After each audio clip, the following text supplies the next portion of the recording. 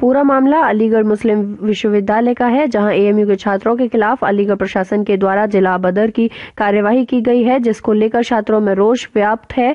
छात्रों के द्वारा विरोध प्रदर्शन करते हुए बताया, जो भी संविधान की बातें करता है, मौजूद सरकार उसे जेल भेज देती है। मौजूदा सरकार के द्वारा कानून का गलत इस्तेमाल किया जा रहा है। देश का भविष्य कहे जाने वाले छात्रों का भविष्य बर्बाद करने के लिए मौजूदा सरकार के द्वारा उन पर गुंडा एक्ट लगाई जा रही है। उनको जिला बदर किया जा रहा है। साथ ही सच का गला घोटा जा रहा है। गुस्साई छात्रों के द्वारा जिला बदर छात्रों के मास्क लगाकर प्रदर्शन किया गया। साथ ही छात्रों के द्वारा मजिस्ट्रेट के माध्यम से महामहिम राज्यपाल के नाम ज्ञापन सौंप कर कार्यवाही की मांग की है। साथ ही छात्रों के द्वारा कहा गया, अगर जल्दी छात्रों के ऊपर लगाई गई इस तरह की कार्यवाही वापस नहीं ली गई तो जल्द ही बड़ा प्रशासन प्रदर्शन किया जाएगा।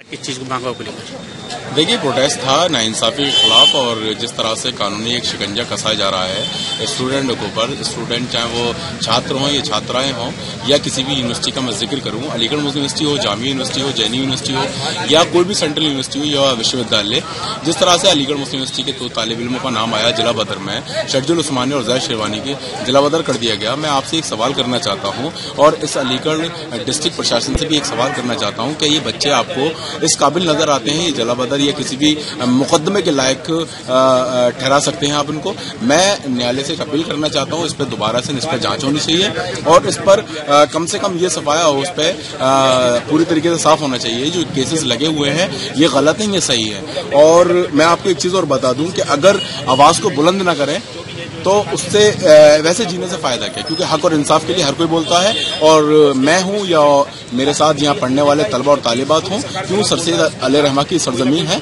यहाँ हक और इंसाफ के लिए हमेशा आवाज़ बुलंद होती रहेगी। चाहे आप चार्जेस कितने ही लगा दीजिए चाहे झूठे मुकदमे कितने ही लगा दीजिए जलाबदर एक बार नहीं सौ बार आप कर दीजिए। यहाँ का तलबा और तालिबात हमेशा अपनी आवाज़ को बुलंद करता रहेगा। किसको ज्ञापन दिया गया?